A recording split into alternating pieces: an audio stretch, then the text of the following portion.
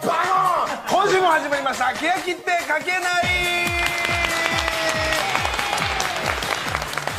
どうも司会のサーブと。千田です。お願いします。さあそしてこいつらがケヤキちゃんです。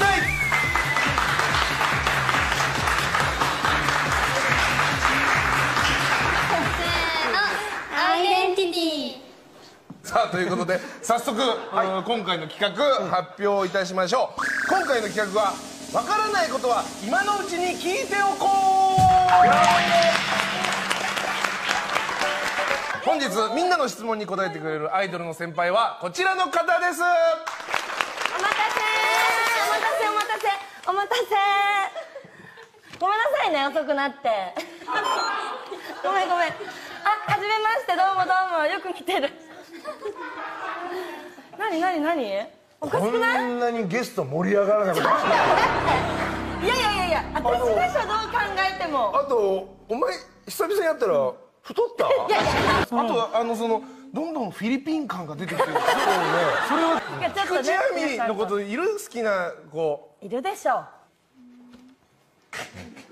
だからさそうやってさ手あげるんだったらさあげなくていいのよ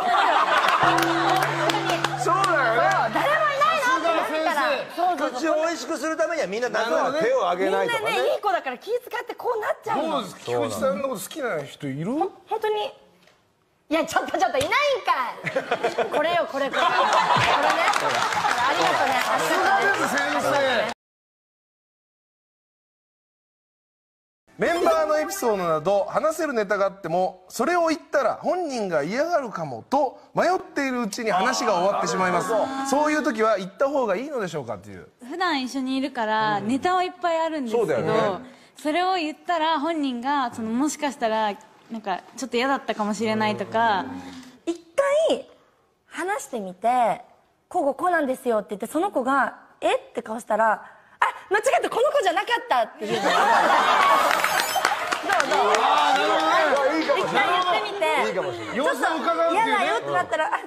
えこれ私だったみたいな。私のこと言っちゃったみたいな。なんでお前の話なんだよみたいななるほど。ねだから斎藤が例えばねあのネルの話したらその時はネルを抜かれるわけだからそれは美味しいってやっぱ思うっていうのが大事だもんね。考え方ですよねまずね、ほんであまりにも斎藤がちょっと「えそれ言っちゃダメでしょ」って話したら仕返しだよね、いやでもこう見て斎藤も ふーちゃんもみたいな話とかね。あるとこっちでもうまく盛り上がるから我々はだいぶ楽になりますよ。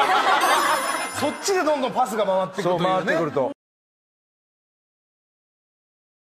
トークの時に滑るのが怖くて積極的に話せません菊池さんは滑った時にどうしていますか？滑った時の対処法などあったら教えてくださいっていう。あ。それをやっぱ考えちゃうんだ滑った時のことを。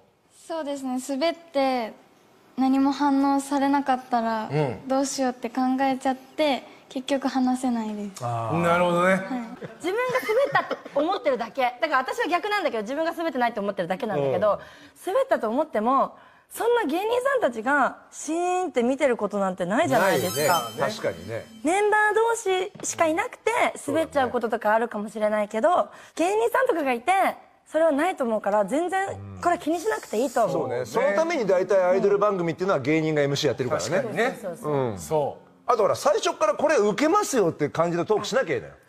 最初はそのテンションで喋るんだけどあれ雲行き怪しいなって時ね俺がよく使う手は普通の情報ですよで話を終わらせる。だからペナルティーのワッキーとかはいやこれすっげえ面白いんだよって感じでし喋ったまま滑って終わるからああいつ滑ったわってなるけど俺は最初からホームランはうち行ってませんよ。あでもだって普通に今バントしに来ましたから別に全然笑い取ろうと思ってませんもんってなるから土田あんま滑ってないって思われるんだよ。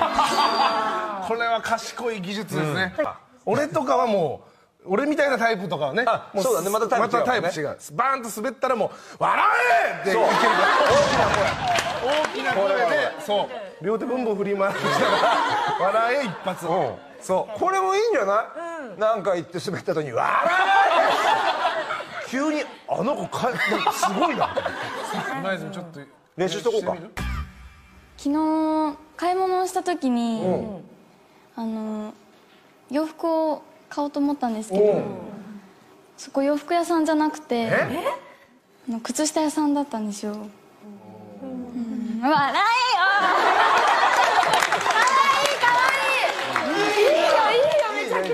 いいじゃん。合ってるなあれ合ってますねキャラクターに合ってるやるよそれ。ただその前に俺も靴下屋さんって何？ってそっちに食いついちゃってるから。